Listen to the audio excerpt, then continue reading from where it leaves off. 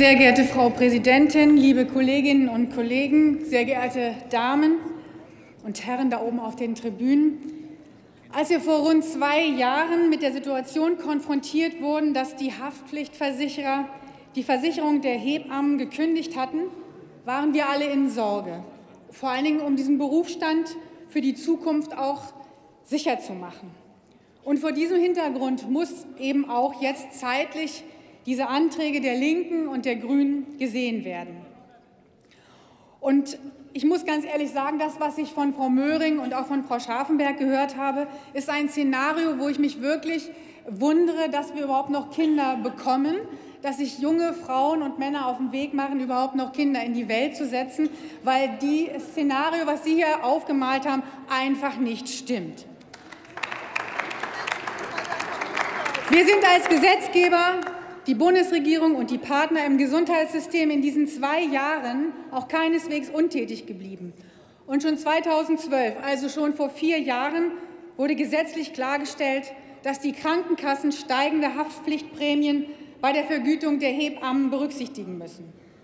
Hebammen, die aufgrund weniger betreuter Geburten nicht für eine Prämie zur Berufshaftpflicht aufkommen können, erhalten für die Geburten seit dem letzten Herbst einen Sicherstellungszuschlag.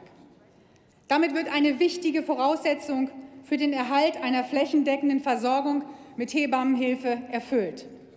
Die GKV gleicht Kostensteigerungen der Berufshaftpflichtversicherung aus, die direkt mit der Berufsausübung der Hebammen zulasten der GKV zusammenhängen. Pro Jahr nimmt die GKV damit zwischen 4.000 und bis zu 6.500 Euro pro Hebamme, je nach Höhe der gezahlten Prämie. Mit der jetzigen Regelung wird nun, wie vom Gesetzgeber gewollt, ein individueller Haftpflichtenkostenausgleich für Geburtshebammen erreicht. Ja, ich weiß, der Vertrag über die Versorgung mit den Hebammen muss da eben in der Schiedsstelle entschieden werden, weil sich die Partner nicht einig geworden sind. Und ich weiß auch, dass der Deutsche Hebammenverband dagegen Klage erhoben hat, weil er seiner Auffassung nach verfassungsrechtswidrig ist. Warten wir also das laufende Verfahren ab.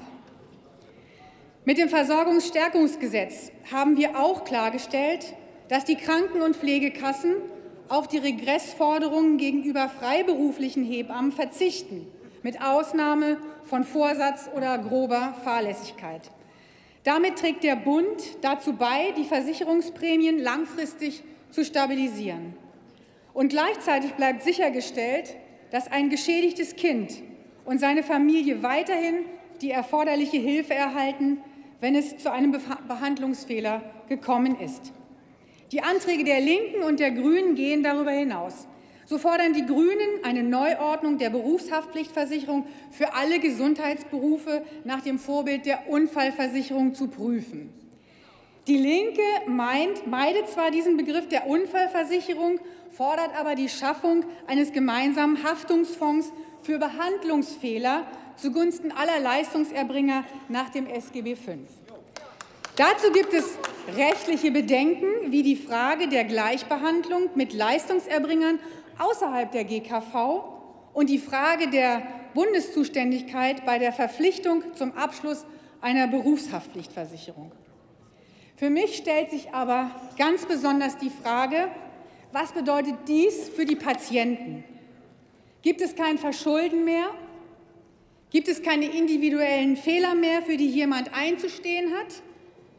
Wird jeder Verstoß gegen die anerkannten Regeln der Heilkunst zum Unfall oder zum Quasi-Unfall erklärt?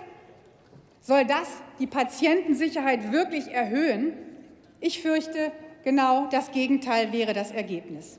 Ich denke, wir tun gut daran, die Anträge der Grünen und der Linken abzulehnen. Vielen Dank. Vielen Dank.